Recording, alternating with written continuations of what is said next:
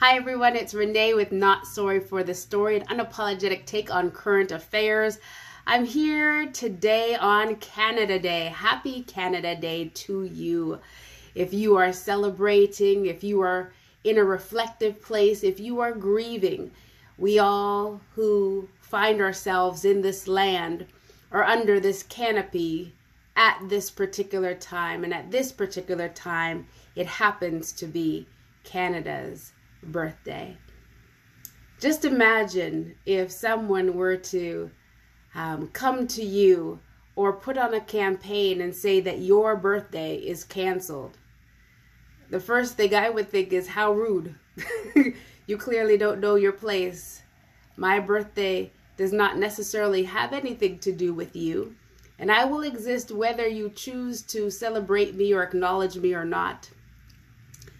However, this is where we find ourselves. This is the first Canada Day where I actually have a hesitancy to say Happy Canada Day. It's as though it's become a bad word over these last few days and weeks in this nation as a result of unmarked graves that have been found on former residential school properties. And I know that different ones of us, like at all times, are finding ourselves in different places, contemplative, grieving, wanting to celebrate, not knowing what to do. But I want to just put to us, I hope we can know that certain things can exist in the room together. Isn't that what Canada is?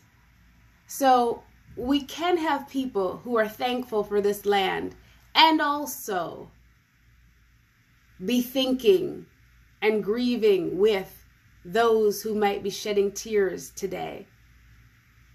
I hope we are not a part of trying to cancel one another's choices or even cancel something that is bigger than us. Canada is bigger than me. And so I know I have no business trying to cancel it. And I know there are different people on the spectrum in regards to they're in a contemplative place, but they're celebrating Canada. Some are in deep grieving and say Canada has no business being celebrated and, and actually canceled events. Several cities across our nation has have done this. Just want to remind us that you cannot cancel something that you did not create. Canada is bigger than all of us. So I do trust that our flag will rise again.